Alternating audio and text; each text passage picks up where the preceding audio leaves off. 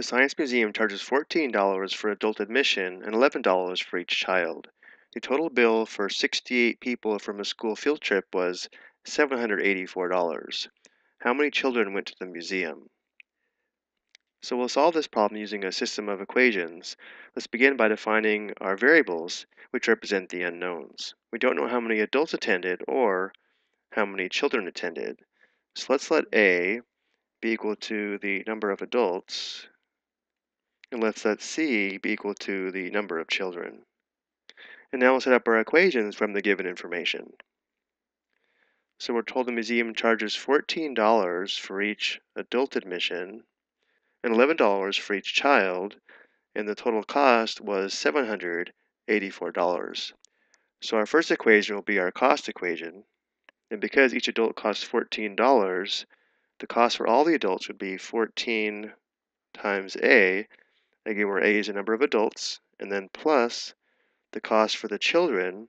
Each child costs $11, so the total cost for the children would be $11 or 11 times the number of children, which is C, and this total cost equals $784. Now for the second equation, we know that 68 people attended from the school, and therefore a plus c must equal 68. And now we need to find the values of a and c that satisfy both equations, and therefore we have to solve this system of equations. Because we can easily solve the second equation for a or c, let's use the substitution method. So notice how if we begin with the equation a plus c equals 68, if we solve this equation for a, we would subtract c on both sides, so we know A equals 68 minus C.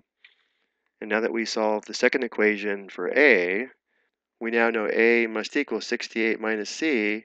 So we'll substitute 68 minus C for A in the first equation.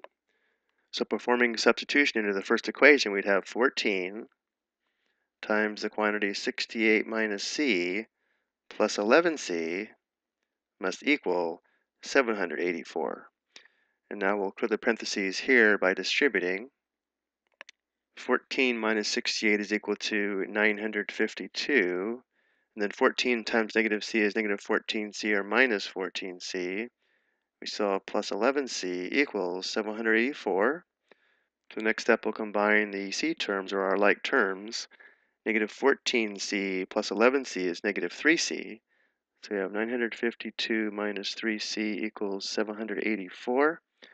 Let's isolate the c term by subtracting 952 on both sides.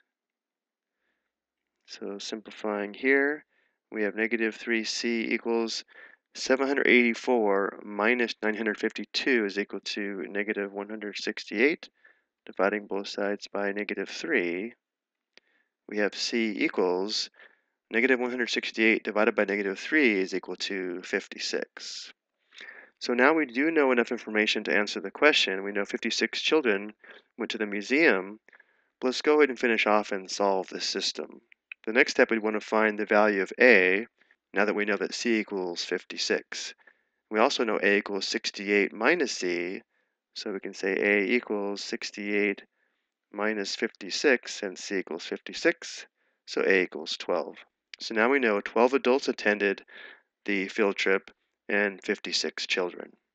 And so to answer this question, we know that 56 children attended the museum. I hope you found this helpful.